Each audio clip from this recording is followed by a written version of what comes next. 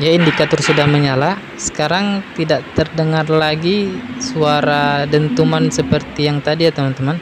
Ini adalah hasil dari rangkaian yang sudah kita buat tadi.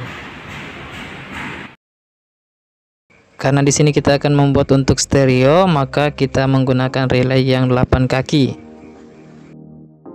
Selanjutnya PCB lubang.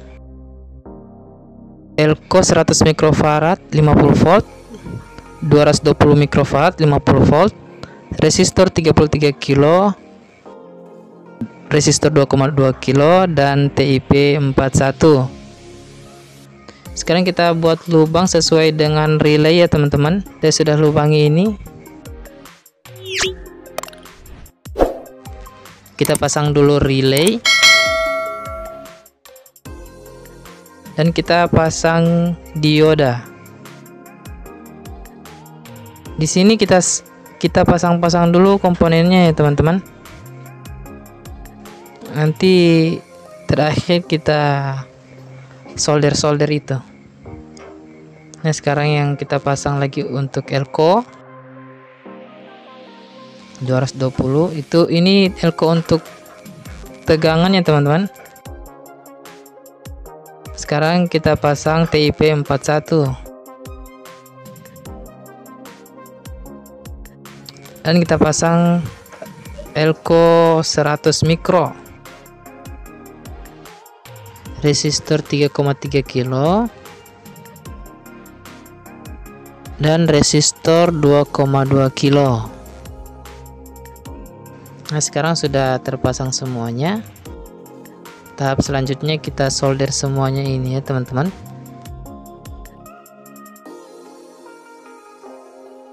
ini solder seperti ini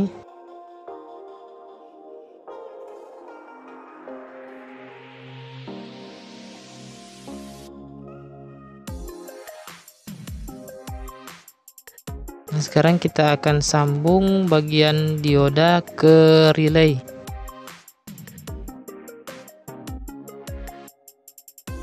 Di bagian bawah ini saya sudah gambarkan untuk skemanya ya teman-teman. Kalian langsung lihat saja di situ. Ini ada basis kolektor emitor. Untuk bagian emitor kita sambung ke relay yang bagian positif ya teman-teman. Selanjutnya kita sambung resistor ke kaki basis. Kita sambung resistor 2,2 kilo ke kaki basis.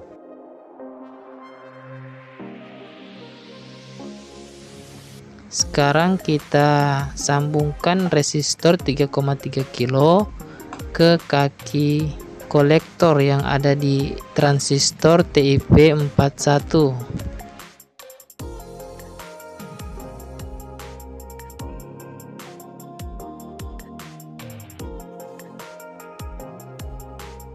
Sekarang untuk dioda ini yang bagian dioda untuk tegangan kita sambungkan ke kaki kolektor juga ya teman-teman.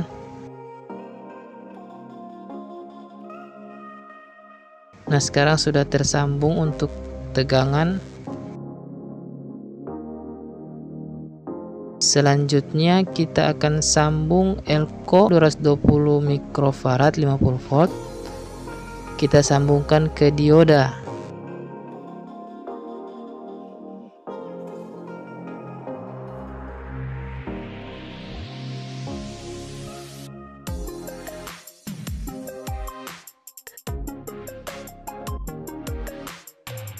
Sekarang kita sambungkan elko 100 mikro ke resistor 2,2.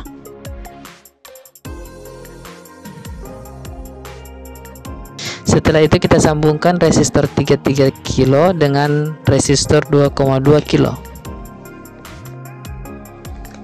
Nah, sekarang kita potong.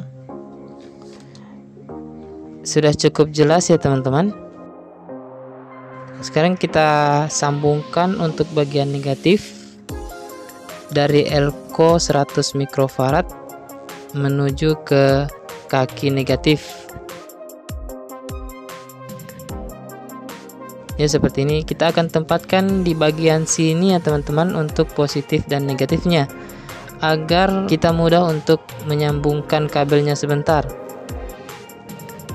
Nah ini dia hasilnya untuk positif dan negatif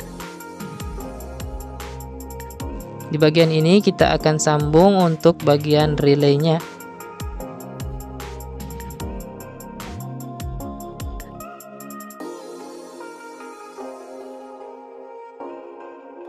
Sekarang di bagian ini kita pasang kabel.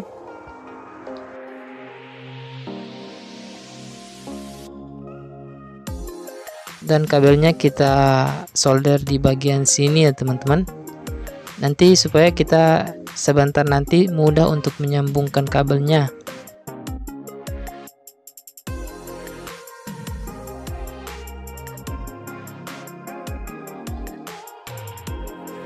Sekarang PCB-nya kita akan potong menyesuaikan rangkaian yang sudah kita buat.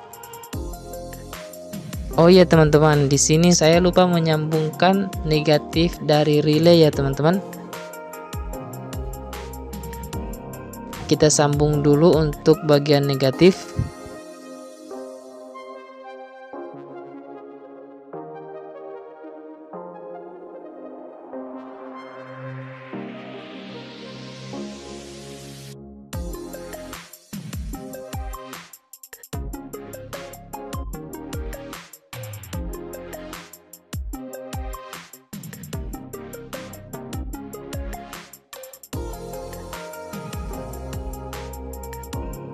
Ya sudah tersambung ya teman-teman. Yang belum subscribe silahkan di subscribe dulu ya. Ini bagian relay yang kaki tengahnya ya teman-teman.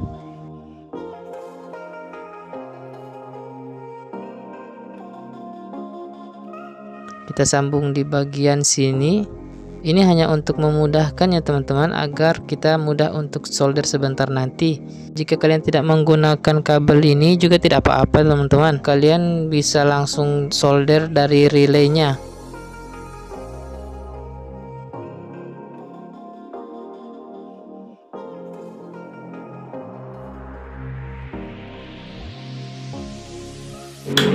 Nah ini sebelum menggunakan rangkaian speaker protector bisa kalian dengar? Sekarang rangkaiannya sudah saya sambungkan ke trafo ya teman-teman. Ini trafo 2 ampere. Saya sambungkan di CT dan 12 volt. Ini enggak apa-apa terbalik ya teman-teman. Ini adalah bagian untuk tegangan 220 nya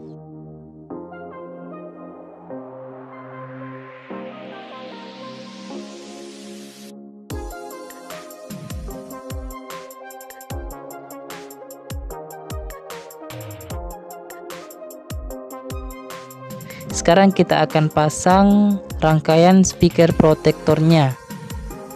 Kalian juga bisa melihat skema yang berada di sebelah kanan ini. Kabel merah dan biru ini adalah kabel dari rangkaian ampli ya teman-teman. Dan kita akan sambungkan ke relay seperti yang ada di gambar.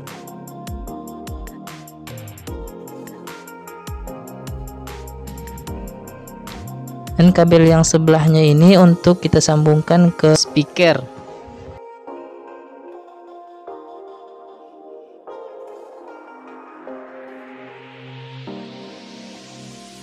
Ini saya sambungkan ke terminal speaker teman-teman.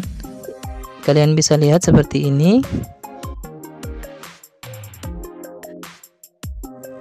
Dan hasilnya jadi seperti ini ya teman-teman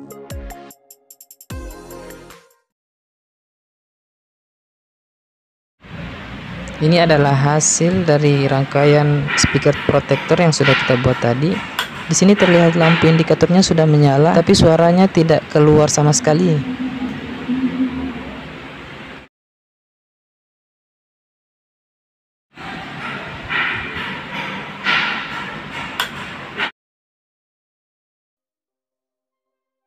Bisa kalian lihat ya teman-teman di sini saat dinyalakan lampu indikatornya langsung naik seperti itu. Itu tandanya suara telah keluar dengan sangat keras. karena kita menggunakan rangkaian speaker protector, maka speakernya terputus selama 3 detik setelah itu tersambung kembali.